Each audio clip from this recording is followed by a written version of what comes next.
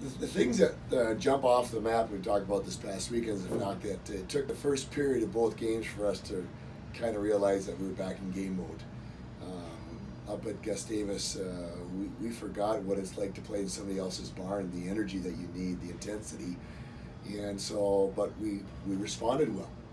And then uh, Saturday night, it was a little bit the human nature. We had won the night before, and Gustavus was desperate and angry and they came out and they just took it to us. They outshot us 16 to six. But again, we recognized what we had to do and we were able to respond. So, you know, you can use the word resilient or we figured things out. And uh, we like to tell our kids that every game is a riddle with no textbook answer.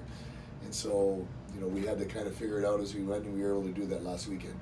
It's funny thing about Noah, like when you do off ice testing or you do other things that relate to being an athlete, he ranks as one of our best athletes.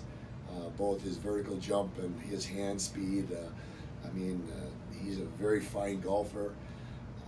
The thing that you would say he's very athletic. The thing that I think makes him a really good goaltender is being athletic, but he's really calm between the ears. He doesn't panic, and you can see his athleticism and and uh, you know. So I I think our guys aren't too surprised at the success he's had because even in practice he's tough to score on he's taken that and translated that into games a little bit. So I think the guys that have been around him had kind of thought he would be a good goaltender for us. He's had that opportunity now with the injury to Eric, and he's kind of playing to that.